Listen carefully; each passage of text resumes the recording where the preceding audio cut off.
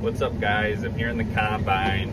Just wanted to show you my little sidekick, my little co-pilot I got for the day. Earlier this morning, I was chasing a baby pheasant down the road. So I got out and I caught him.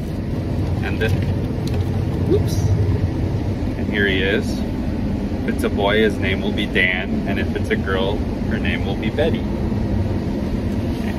This is the third iteration of his house he figured out how to escape out of the last two. So this one works. I cover it up just like that. And then I put my sweatshirt on it for a little more weight. And then he still gets some air, but he can't get out. So it's September 24th, and I estimate this little guy's about three weeks old, maybe even a little less. So that would put him born in the beginning of September, which is really late we've been in a drought lately and I'm assuming his mother had a couple failed clutches and uh, decided to give it one last try and managed to get some to hatch out. And unfortunately once this whole field is combined there'll be no cover and I've been seeing some hawks circling. So he wouldn't have stood a chance.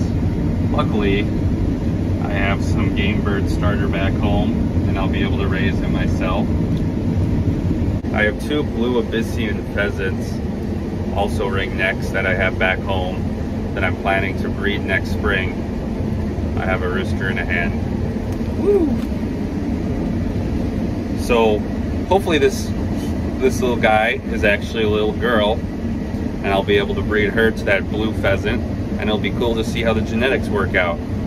Otherwise, if it's a rooster, I'll either release him when he's full grown or I will uh, put him in with the rest of my birds and just keep him just for the fun of it. Thanks for watching.